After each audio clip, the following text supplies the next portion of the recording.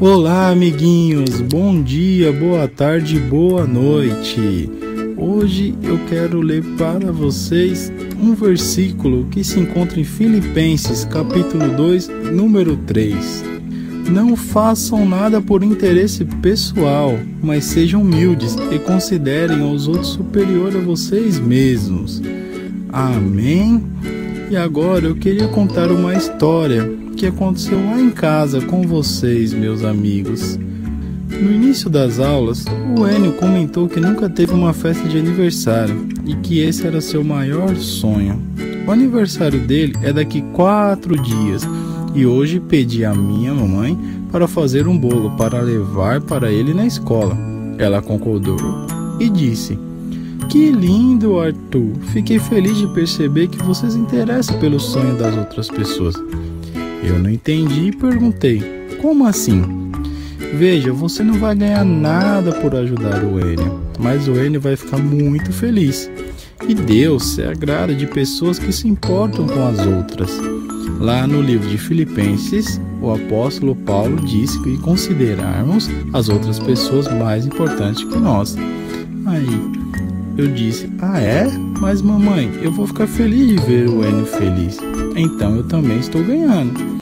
Você tem razão, mas muitas pessoas são tão egoístas que não entendem que ao abençoar alguém também são beneficiadas.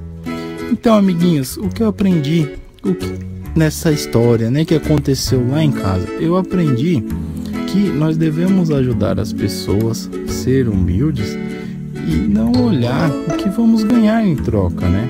Se o amiguinho está precisando de uma ajuda, se o amiguinho às vezes não tem condição de comprar um lanche ou alguma coisa, não tem nada eu dividir o meu lanche com ele. Não podemos ser egoístas, porque assim o dia que também se você não tiver o lanche, o seu amiguinho vai te ajudar ou Deus vai te ajudar, porque Deus se agrada das crianças que dividem com outras pessoas, que querem ajudar as outras pessoas, porque Deus não gosta de criança egoísta.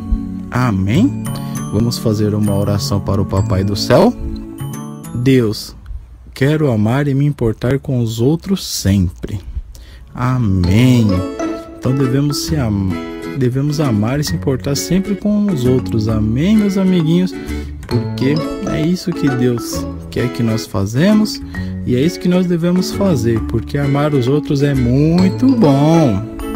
E agora, chama o papai, chama a mamãe, o titio, a titia, o primo, a prima, o vovô e vamos fazer uma atividade. Amém? Atividade número 1. Um. Você já foi abençoado com a amizade de outra pessoa? E aí, o que vocês acham? Atividade número 2. Você já se preocupou em fazer outra pessoa feliz? Se sim, quem? Amém? Anotaram aí? Respondam e depois nós conversamos sobre essas respostas. Amém? Deus abençoe a todos e um ótimo dia.